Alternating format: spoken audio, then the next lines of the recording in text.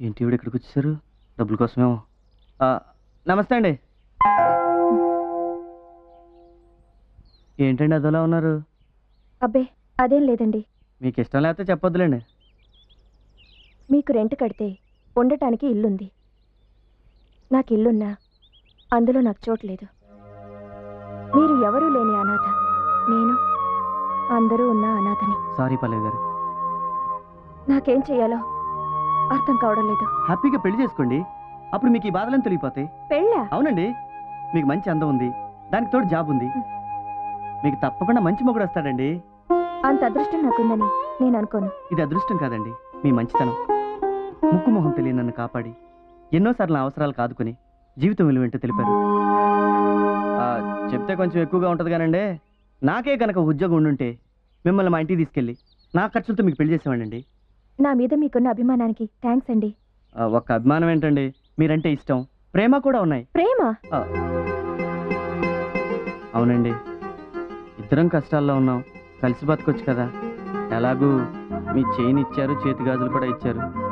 దాంతోపాటు మీ చిటికెన వేలు కూడా ఇస్తే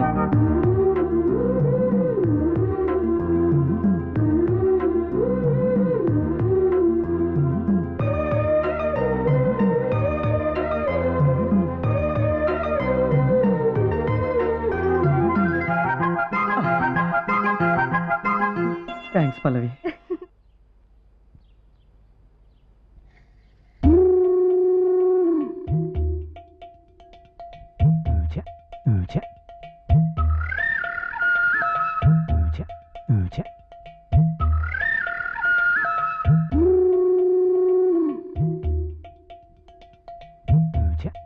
Yes.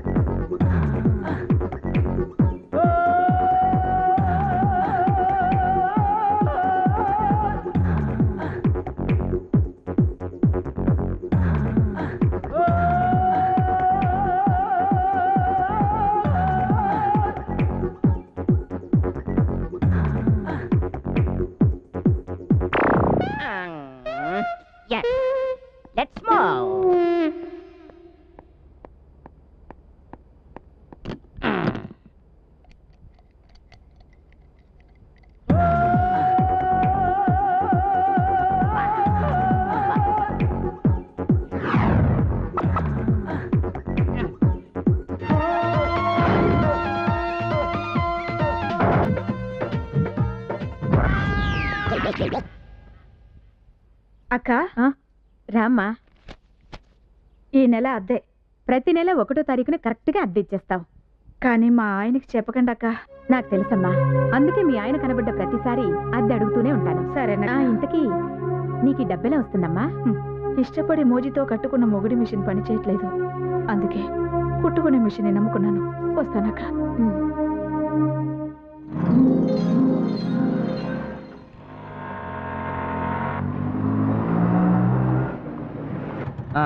ఇదే ఇల్లు. ఆపి.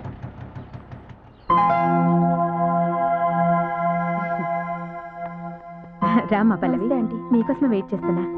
ఆ, పర్లేదు ఉంచుకో. రండి. అడ్రస్ ఈజీగా గుర్తుపట్టారమ్మా. మీకు బాగా పాపులారిటీ ఉన్నట్టుందండి. పేరు చెప్పడం ఆలస్యం. లటక్కని తీసుకొచ్చేసాడు. రండి. హ్మ్, ఇదేనమ్మా పోర్షన్. ఉదయాన్నే ఇల్లు శుభ్రంగా కడిగించి మీ తరఫున నేనే పాలు పొంగించేశాను. చాలా థ్యాంక్స్ అండి. థ్యాంక్స్ ఆంటీ మీ ఇల్లు చాలా బాగుంది. మీ మంచితనం ఇంకా బాగుంది. ఆ, ఇదిగో ఇచ్చే. ఆ, అడ్వాన్స్ ఎక్కడికి పోతుందమ్మా? కొంచెం సరే. కొత్తగా పెళ్ళైంది కదా? ముందు ఇంటికి కావాల్సిన సామాన్లు కొనుక్కోండి. మీదెంత విశాల హృదయం అండి. వస్తానమ్మా. అలాగే. ఆ, ఇది హాల్. అది బెడ్రూమ్. పద.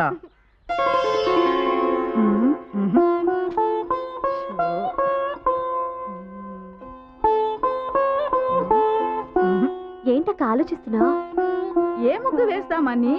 ఇందులో ఆలోచించడానికి ఏముంది? ఏదో ఒకటి వేయి. ఏదో ఒకటి వేసే స్వేచ్ఛ నాకెక్కడ ఉందమ్మా? మొన్న నేను చిలక ముక్క వేస్తుంటే ఏంటే ఈ చిలక? అవునండి. ఎలా ఉందండి? చాలా బాగుంది. బ్రహ్మాండంగా ఉంది. ఎవడేమన్నాడు ఈ ముగ్గు నిన్ను? ఎవరు వేయమనలేదండి. ఎవరు వేయమనలేదండి? ఎవరు వేయమనకుండా నేను ఒక్కదాని వేసే ఇండిపెండెంట్ డెసిషన్స్ తీసుకుంటున్నావు అన్నమాట. ఏంటి? మాట్లాడమే సతీ సావిత్రి కట్టింగ్ లేవుక చిలక ముగ్గేసి చిలకలాగా ఎవరితో ఎగిరిపోదాం అనుకున్నావా.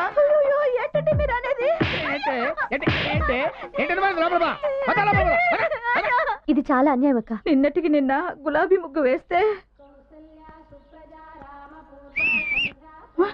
సూపర్. గులాబీ పువ్వు బ్రహ్మాండంగా వేసావే. ఎవరు నేర్పాడా నీకు? మా బామ్మ. అంటే మీ అమ్మకి అమ్మ అన్నమాట అవును. నువ్వు చిన్నప్పుడు ఉగ్గు పాలతోనే నేర్చుకున్నావే. మగోడిని ముగ్గులేసి ముగ్గులోకి లాగటం. ఏంటండి మీరు అనేది ఏంటా? ఈ గులాబీ ముగ్గేసి ఏ జిలేబీ గాడిని ముగ్గులోకి లాగుదాం అనుకున్నావు? ఎవరండి ఆయన? అంటే ఏంటి?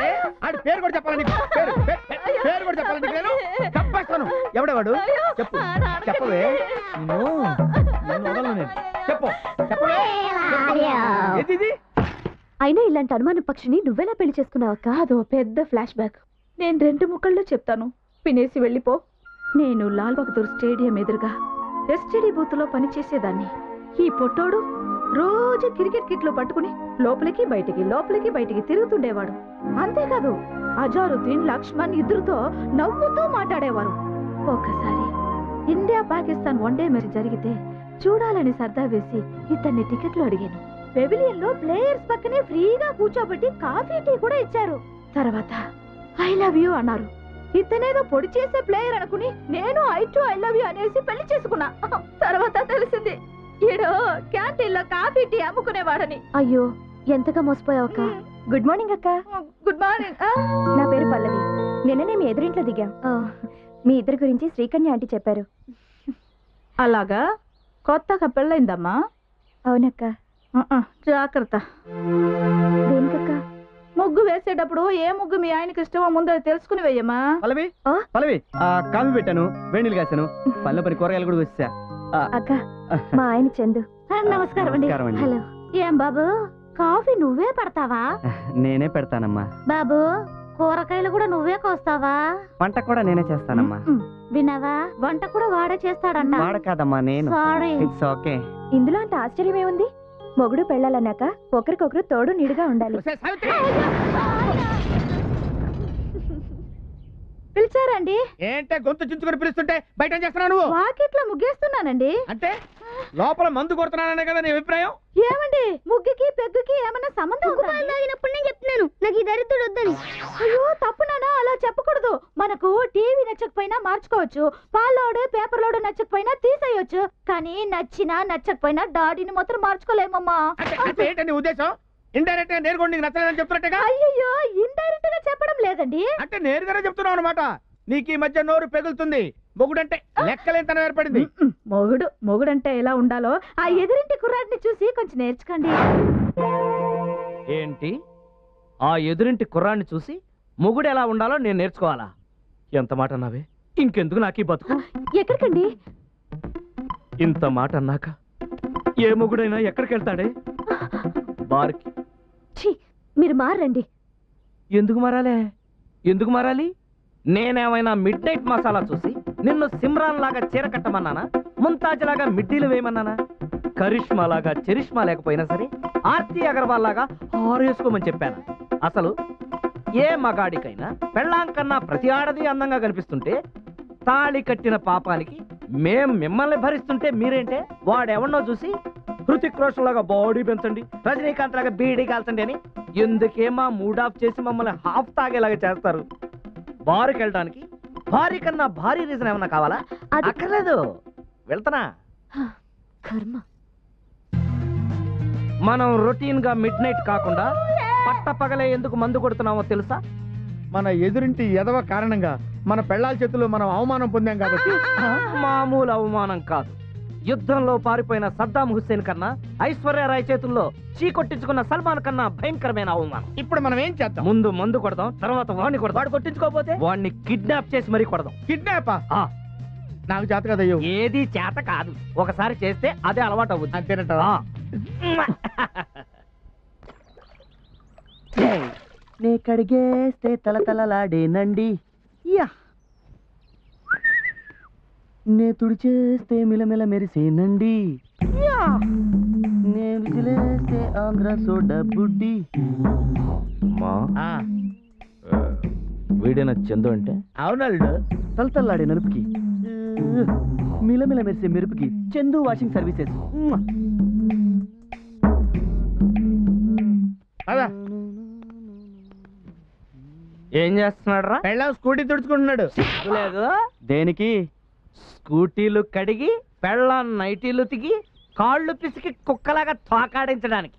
అందులో తప్పే ఉంది! చూసావమ్మా.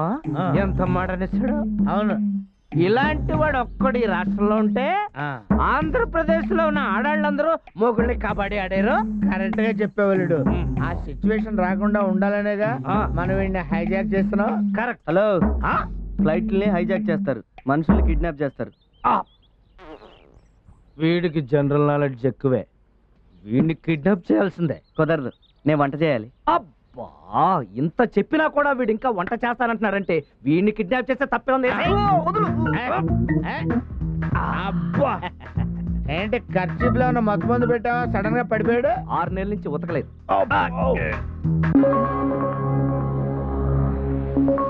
నేను ఎక్కడున్నాను నన్ను కిడ్నాప్ చేసిన వాళ్ళు లేరి? ఆ, మీరెవరు మహానుభావా? పిచ్చివాడు. నేను శ్రీకృష్ణుడు నేను అర్జునుణ్ణి. ఏ? నాతో మీకు పనేంటి? ఎందుకు తీసుకొచ్చారు? నీకు పరిపూర్ణమైన సంసార జ్ఞానాన్ని బోధించడానికి. సరిగ్గా విను. నేను విన్నాం. ఈడికి ఇలా చెప్తే వినడలుడు. ఏ చేయమంటావా ఆగు అర్జున. ఆ, రీసెంట్గా మ్యారేజ్ అయింది. తగలరాని చోట తగిలితే ప్రాబ్లం. అయితే ఓకే. చూడు మూర్ఖ. ఆ. భార్య అంటే ఎవరు? బంతి. భర్త అంటే ఎవరు? బ్యాట్. బ్యాట్ ఎప్పుడు బంతిని కొడుతుంది? అలాగే భర్త ఎప్పుడు భార్యను కొట్టాలి? ఇది చాలా అన్యాయం. అన్యాయం అంటే సరిపోద్దా? మేక మటన్ అవుద్దా? కోడి చికెన్ అవుద్దా? ఆహా అర్జున నీ లాజిక్ సూపర్. అందుకే అనుభవం మీద చెబుతున్నాం విను. పెళ్ళాన్ని రీజన్ ఉన్నా లేకపోయినా రోజుకు కనీసం మూడు సార్లైనా ఇరగొట్టాలి. మన మాట వినే వరకు కొడుతూనే ఉండాలి. మనమే పెళ్ళాల మాట వింటే ఫ్లూట్ వచ్చుకుని డొక్కలో పుడుస్తారు. చూడు.